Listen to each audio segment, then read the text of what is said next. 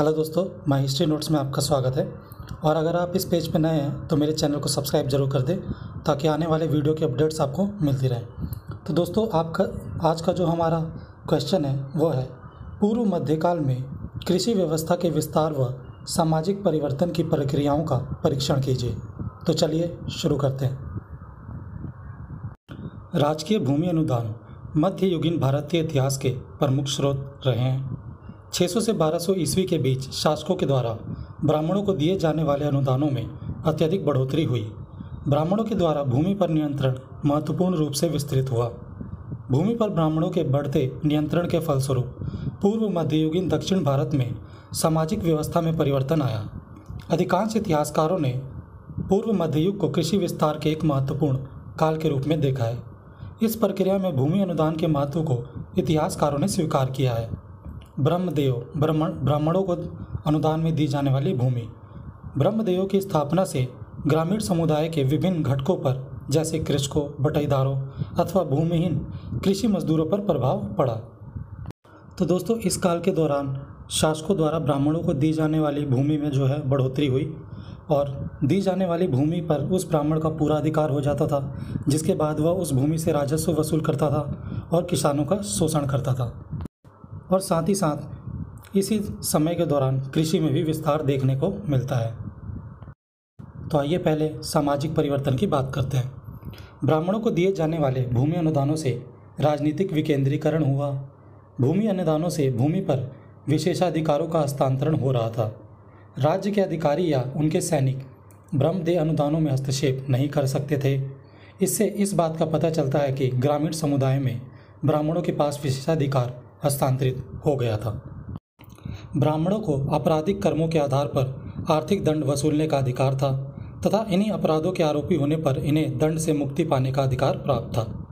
ब्राह्मण अनुदान प्राप्तकर्ताओं ने ग्रामीण समुदायों को अधीनस्थ बनाया और उनका शोषण किया। कृषि संबंधों में नवीन तत्वों का प्रवेश हुआ। बाहर से कृषि मजदूरों से कार्य कराने का प्रचलन शुरू हुआ।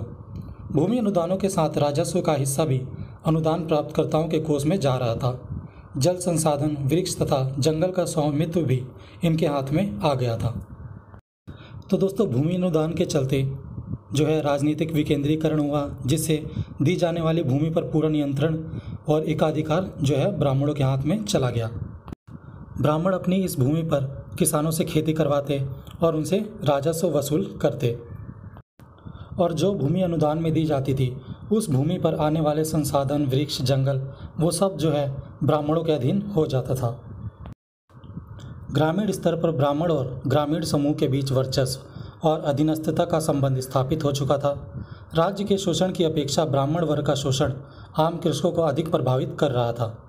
ग्रामीण स्तर पर सामाजिक और आर्थिक विभाजन घर आते जा रहे थे। बढ़ते हुए ग्रामीण विभाजन की वजह से सामाजिक आर्थिक संघर्ष की संभावना भी बढ़ने लगी। इस प्रक्रिया के अंतर्गत जनजातियों का कृषक एवं जाति के रूप में रूपांतरण हो रहा था। भूमि अनुदान ने ग्रामीण क्षेत्रों में ब्राह्मणों के एक वर्ग की स्थिति को काफ़ी मज़बूत कर दिया। जनजातीय समुदाय के लोगों ने कृषि कार्य में अपना सहयोग देना शुरू कर दिया। कई जनजातियाँ अब जाति व्यवस्था के दायरे में आ गई, जैसे भूमि से जुड़े क्रियाकलापों में बड़े पैमाने पर लेखाकारों की आवश्यकता पड़ रही थी और इस प्रकार इनसे जुड़ा कायस्थ समुदाय एक जाति के रूप में रूपांतरित हो गया। तो दोस्तों, ग्रामीण क्षेत्रों में ब्राह्मणों के हाथ में विशेषाधिकार आ जाने के बाद सामाजिक और आर्थिक विभाजन जो है बढ़ने लगा। और भूमि अनुदान बहुत बड़ी मात्रा में दिया जा रहा था, इसलिए उसका लेखा जोखा रखने के लिए कायस्थ समुदाय भी जो है जाति में रूपांतरित हो गए, जो इस भूमि का लेखा जोखा रखने लगे। इस वजह से कई जनजातीय समुदाय जाति व्यवस्था के दायरे में आ गए। तो चलिए अब जानते हैं कृषि व्यवस्था में विस्तार के बारे में। इस काल के कृषि के विकास की जानकारी हमें। कृषि पराशर ग्रंथ, जिसे 950 और 1100 ईस्वी के बीच बंगाल क्षेत्र में लिपिबद्ध किया गया, से मिलती है। इस काल के लोगों को वर्षा का ज्ञान, मौसम तथा वायु की दिशा का ज्ञान हो चुका था। कृषकों को खाद के महत्व, जो धान के अत्यधिक उपज के लिए अनिवार्य है, तथा चावल की खेती के लिए उपयुक्त विधियों का ज्ञान था। कृषि प्राशर से पता चलता है कि कृषकों को बीजारोपण की अवधि भी ज्ञात थी। इस कार्य के लिए वैशाख को सबसे उपयुक्त माना गया। किंतु धान के रोपण के लिए मई, जुलाई को श्रेष्ठ माना जाता था। बीज रोपण के बाद धान की खेती को पाटने के लिए सीढ़ी नुमा यंत्र का उपयोग किया जाता था। गौ पर्व के दौरान गौ पूजन से वर्ष भर के लिए मवेशियों का अच्छा स्वास्थ्य सुनिश्चित हो जाता था। कृषि कार्यों से जुड़े देवताओं में प्रजापति सची इंद्र मरुति तथा वसुधा को विशेष स्थान दिया गया। तो दोस्तों, कृषि प्राशर ग्रंथ से पता चलता है कि उस काल के किसानों को खेती की पूरी जानकारी हो चुकी थी। और साथ ही साथ उनको ये भी पता था किस महीने में बीजारोपण करना है और किस महीने में उसे पाटना है। और खेती की सिंचाई करने के लिए कुछ यंत्रों का भी इस्तेमाल किया जाने लगा था। भूमि अनुदान में भूमि के सभी आयामों का विस्तृत विवरण उपलब्ध है, जिनमें भूमि की सतह की माप तथा अनाज की तौल दोनों का दर्ज किया जाता था और धान की फ़सल के लिए ही इनका उपयोग होता था। वार्षिक राजस्व आय को लिपिबद्ध किया गया। इस प्रकार राज्य के द्वारा राजस्व का विस्तृत लेखा जोखा रखा जा रहा था। कृषि कार्य और ग्रामीण बस्तियाँ ब्रह्मपुत्र तथा नदी घाटियों में केंद्रित थी। नदी नालों के निरंतर उल्लेख से पता चलता है कि ग्रामीण बस्तियाँ नदी स्रोतों के आसपास ही स्थित थी। नदियों और स्थानीय धाराओं के अलावा गाँवों की सीमाओं को खेत, बाँध, तालाब, वृक्ष, सड़क तथा अन्य गाँवों के द्वारा इंगित किया गया था। निवास क्षेत्र फल के वृक्षों से घिरे होते थे, जिनके चारों ओर खेती होती थी। जल को रोकने और खेती तक, खेतों तक पहुँचाने के लिए बांधों का निर्माण किया गया।